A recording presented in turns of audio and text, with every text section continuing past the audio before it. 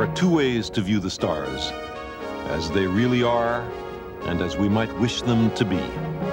These are the Pleiades, a group of young stars astronomers recognize as leaving their stellar nurseries of gas and dust. And this is the Crab Nebula, a stellar graveyard where gas and dust are being dispersed back into the interstellar medium. Inside it is a dying pulsar. Both the Pleiades and the Crab Nebula are in a constellation that astrologers long ago named Taurus the Bull. They imagined it to influence our daily lives. Astronomers say that the planet Saturn is an immense globe of hydrogen and helium, encircled by a ring of snowballs 50,000 kilometers wide, and that Jupiter's great red spot is a giant storm raging for perhaps a million years.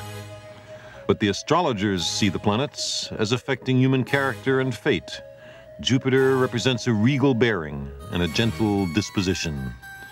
And Saturn the gravedigger fosters, they say, mistrust, suspicion, and evil. To the astronomers, Mars is a place as real as the Earth, a world awaiting exploration. But the astrologers see Mars as a warrior, the instigator of quarrels, violence, and destruction.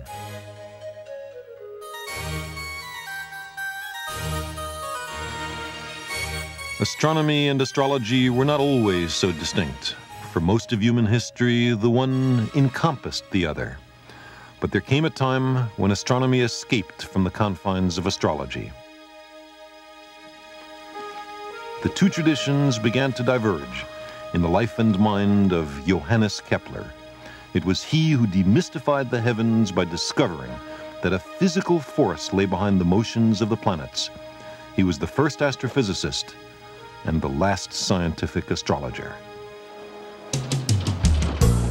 The intellectual foundations of astrology were swept away 300 years ago, and yet astrology is still taken seriously by a great many people.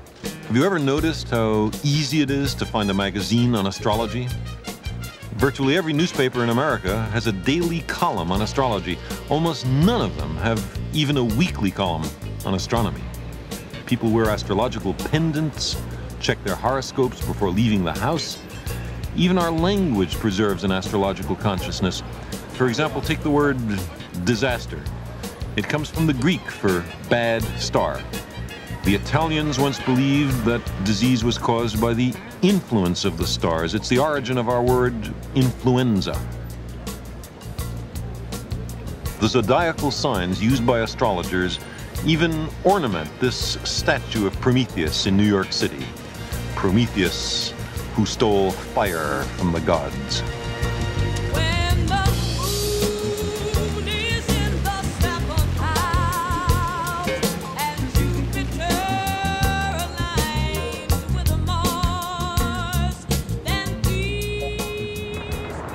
What is all this astrology business? Fundamentally, it's the contention that which constellations the planets are in at the moment of your birth profoundly influences your future. A few thousand years ago, the idea developed that the motions of the planets determine the fates of kings, dynasties, empires. Astrologers studied the motions of the planets and asked themselves what had happened last time that, say, Venus was rising in the constellation of the goat maybe something similar would happen this time as well. It was a subtle and risky business. Astrologers became employed only by the state.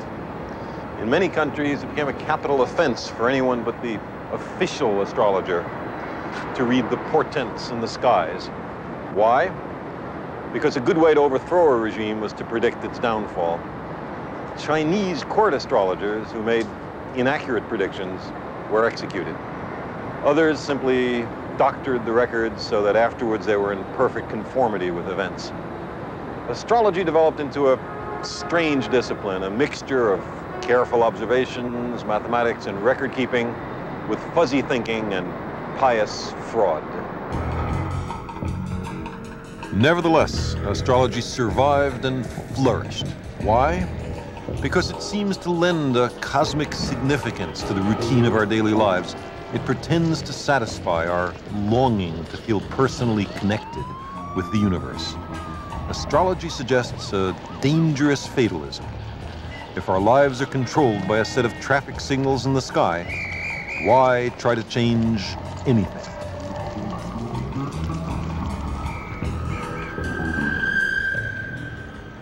Here, look at this. Here's two different newspapers published in the same city on the same day. Let's, uh, let's see what they do about astrology. Suppose you were a Libra that is born between September 23rd and October 22nd.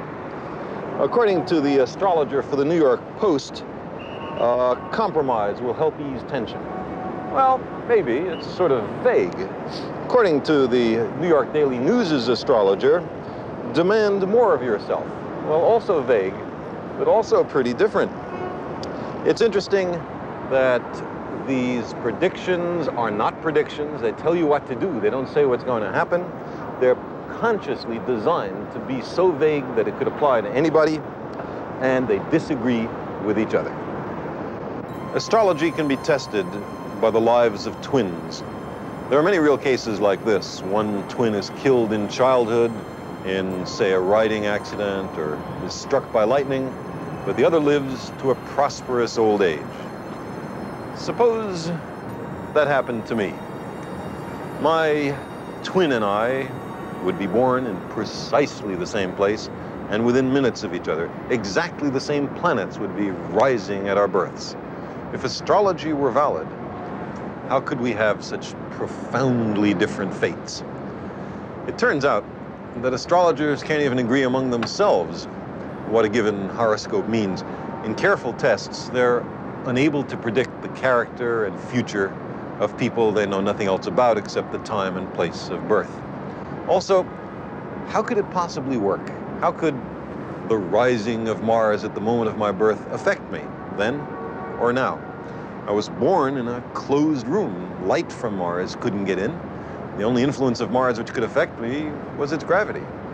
But the gravitational influence of the obstetrician was much larger than the gravitational influence of Mars.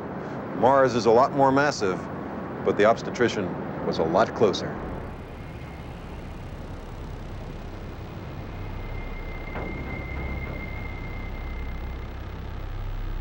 The desire to be connected with the cosmos reflects a profound reality. For we are connected, not in the trivial ways that the pseudoscience of astrology promises, but in the deepest ways.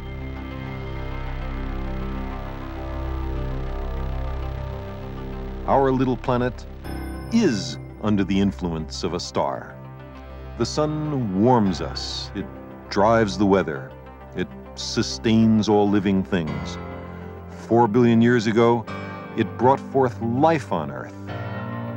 But our sun is only one of a billion trillion stars within the observable universe. And those countless suns all obey natural laws, some of which are already known to us. How did we discover that there are such laws?